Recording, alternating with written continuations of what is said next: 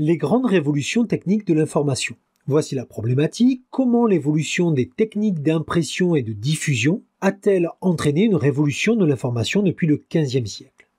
Grand 1, l'information imprimée, de la diffusion de l'imprimerie à la presse à grand tirage. Petit 1, la révolution de l'imprimerie. L'allemand Gutenberg, qui meurt en 1468, a révolutionné la technique d'impression vers 1454. Installé à Mayence comme graveur sur bois, il a l'idée d'appliquer la même technique d'impression à des caractères mobiles en alliage de plomb et d'antimoine, dont l'assemblage ligne à ligne permet de composer une page d'écriture duplicable à l'infini. Il achève en 1455 le premier livre imprimé de l'histoire, la Bible à 42 lignes, dite Bible de Gutenberg.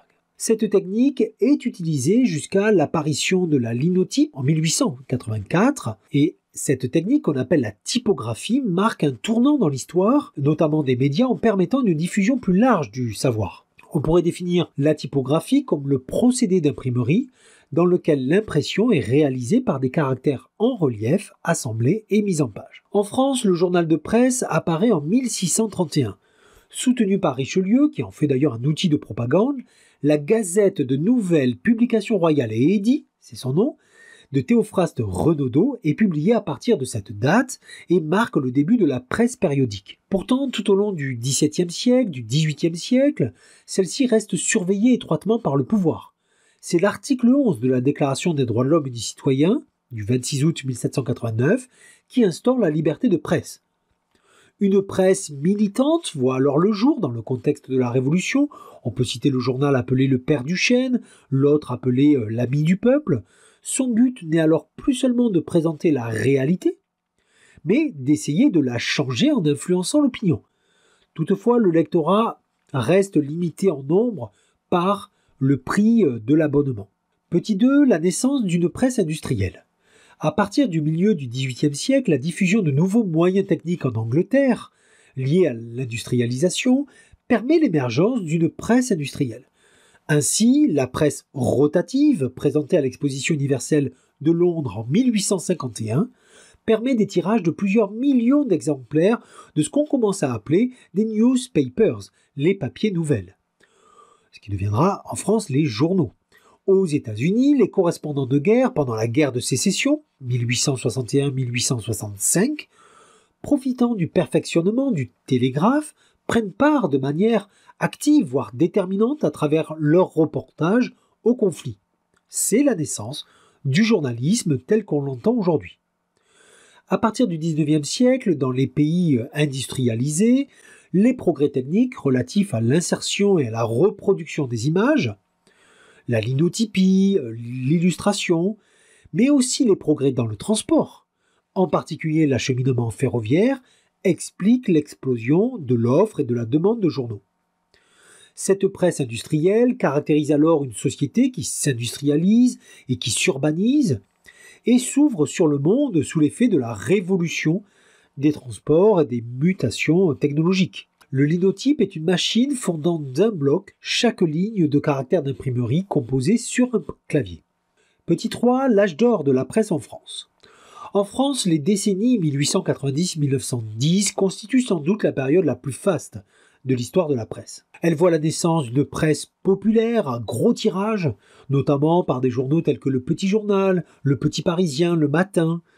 La presse quotidienne gagne de nouvelles couches sociales, à Paris comme en province. En 1914, près de 10 millions d'exemplaires sont vendus quotidiennement. La presse quotidienne française est devenue alors la première presse en Europe et la deuxième dans le monde, en termes de vente, après les États-Unis.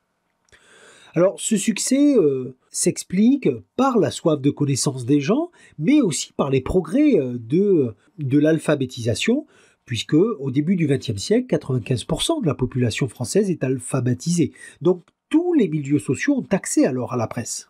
Pour les journaux à gros tirage, l'augmentation des ventes provient d'une diversification des sujets. On aborde les faits divers qui sont publiés en une, mais on commence à aborder aussi le sport, euh, voire la mode aussi. De plus, l'illustration dans les journaux permet de séduire un nouveau lectorat et d'augmenter les tirages. Au-delà de cette presse dite généraliste, il existe aussi la presse d'opinion. Chaque tendance politique possède son journal. Ainsi, Le Figaro, Le Temps, Le Gaulois sont plutôt destinés à un lectorat bourgeois, alors que l'Aurore de Clémenceau ou l'Humanité, fondée en 1904 par Jean Jaurès, rassemble eux plutôt toutes les tendances socialistes. En province, la presse d'opinion compte près de 200 titres, tandis que des quotidiens d'information commencent à devenir des régionaux. Par exemple, le Petit Marseillais, la Dépêche, le Grand Écho du Nord, le Progrès, etc. À partir des années 30, la presse prend le tournant de l'image. Dans l'entre-deux-guerres, les ventes de la presse baissent sous les effets euh, conjugués de la méfiance du lectorat. Le lectorat se souvient de la censure, du bourrage de crâne pendant la Première Guerre mondiale, mais sous les effets aussi de la récession économique et puis de l'augmentation du prix de vente. La presse doit donc se renouveler si elle veut garder son lectorat. C'est dans ce contexte qu'un journal tel que Paris Soir devient un des principaux titres de la presse française en bousculant les habitudes des lecteurs. Le journal fait le choix d'une information simple, dans un langage accessible. Une large part euh, du journal est accordée aux faits divers et aux feuilletons sentimentaux afin de toucher un électorat populaire. De plus, ce journal propose une mise en page plus attractive basée sur la photographie. Et Paris Soir tire à un million d'exemplaires en 1934, obligeant la concurrence à s'adapter à son tour. Après la libération, donc en 1945, la presse libre s'exprime à nouveau pour répondre aux attentes d'information en diffusant notamment les communiqués officiels de la résistance ou des armées alliées. De nouveaux journaux apparaissent et sont pour la plupart issus de la presse clandestine de la résistance, le Franc-Tireur, Combat, La Voix du Nord, Libération, dont certains, vous le voyez, existent toujours aujourd'hui. Grand 2, l'information par le son et l'image, radio et télévision au XXe siècle. Petit 1, l'information immédiate s'impose avec la radio. Pendant longtemps, la radio a été et reste encore pour beaucoup le média de l'information en continu, du fait de la rapidité des ondes hertziennes qui permet une quasi-instantanéité de la diffusion de l'information. En France, la radiodiffusion est née en 1922 avec l'installation d'une antenne radiophonique sur la Tour Eiffel. Dans cette époque, un des événements majeurs qui fait prendre conscience de la puissance et du rôle joué par la, radiodiffusion fut en mars 1938 la diffusion en direct, c'est-à-dire dans l'immédiateté, de l'annexion de l'Autriche par l'Allemagne nazie, durant euh, lequel le journaliste raconte alors l'événement au téléphone. Depuis la libération, la radio s'est généralisée dans les foyers.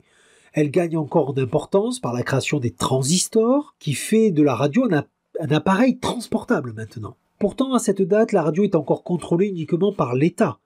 La création en 1955 de la station Europe numéro 1 défie le monopole de l'État et se donne pour mission de suivre l'actualité au plus près. À partir de là, le nombre de stations de radio ne cesse de progresser et de se diversifier, notamment à partir de la création des radios libres en 1982. Petit 2 avec la télévision, l'émotion et le spectacle des images s'ajoutent au direct. La télévision s'installe progressivement dans le paysage médiatique français au cours des années 50 et de la décennie suivante. Dans les années 60, 70% des ménages euh, sont équipés en récepteurs de télévision. L'État cherche alors à s'assurer le contrôle de ce nouveau média par la création de RTF, dit Radiodiffusion Télévision Française, créée en 1949 et remplacée par l'ORTF en 1964. En juin 1949, le premier journal télévisé est diffusé.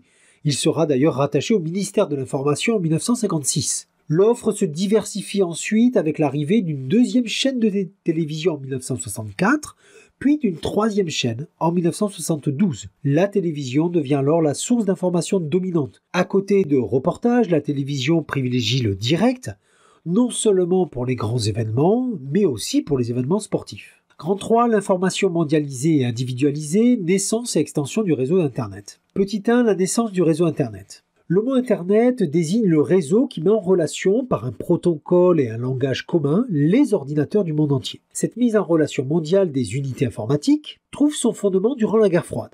En effet, après le succès du lancement du satellite russe Sputnik 1 par les soviétiques en 1957, les Américains décident l'année suivante de créer une structure étatique dévolue à la recherche et au développement, notamment en matière d'innovation de défense. Or, en 1958, le président américain Dwight Eisenhower crée l'ARPA qui a avant tout pour but de trouver une parade à une éventuelle attaque de missiles lancés depuis l'espace par les soviétiques. Les inquiétudes américaines les plus fortes portent sur les dommages que pourrait causer une telle attaque sur les réseaux de communication. Elle aurait pour effet, en coupant les communications, de paralyser toute la chaîne de commandement. L'ARPA commence à travailler à partir de 1962 sur une mise en réseau décentralisée des ordinateurs. Et ça, c'est la base d'Internet. Il commence par les ordinateurs du centre de la défense américaine, le Pentagone, et puis peu à peu, la réflexion aboutit à l'idée d'un réseau en toile d'araignée, le web, c'est-à-dire relier chaque terminal informatique à plusieurs autres terminaux. L'ARPA assure ainsi la sécurité, la pérennité du réseau informatique américain, car si une connexion était défaillante, coupée par un missile par exemple, le réseau permettrait d'avoir d'autres portes de sortie pour l'information. Ce premier réseau décentralisé, vous l'avez compris, est appelé l'ARPANET. Mais assez rapidement, on passe de l'ARPANET à l'Internet. Les fondements théoriques de l'ARPANET, vous l'avez compris, sont posés.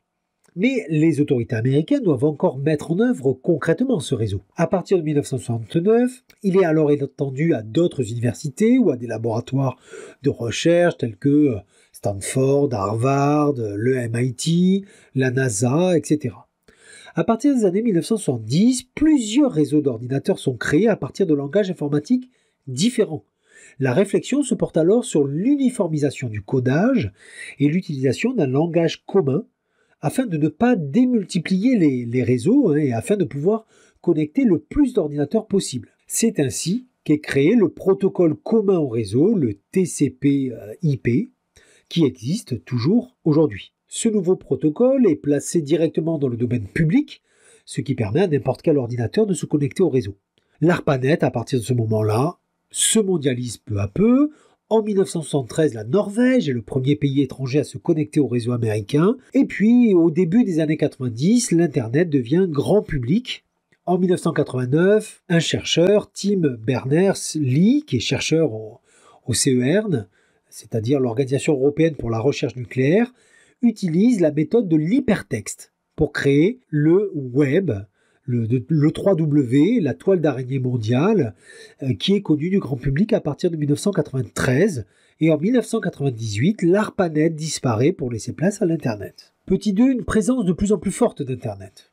Là, il faut aborder la notion de cyberespace, qui est une notion quand même assez floue. Dans l'esprit du grand public, il est souvent synonyme d'Internet. En fait, la réalité du cyberespace est beaucoup plus large que ça.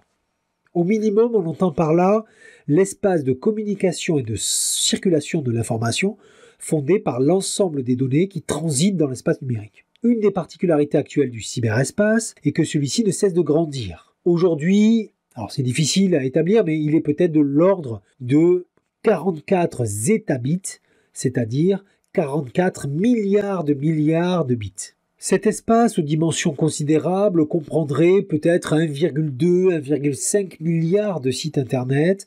Le nombre de pages n'est pas connu avec certitude, mais leur nombre dépasse peut-être les 100 milliards. Les informations circulent dans cet espace en quelques fractions de secondes, chacune se composant d'un ensemble de données, les data. Alors, bien entendu, à l'échelle mondiale, la progression du nombre d'utilisateurs réguliers de l'Internet, euh, qui est elle-même euh, impressionnante depuis la création du 3W, modifie les usages de l'information. En effet, à la fin des années 80, on comptait une centaine de personnes connectées. Ils sont 4,5 milliards aujourd'hui. L'apparition d'Internet et encore plus des réseaux sociaux a bouleversé la manière de faire de l'information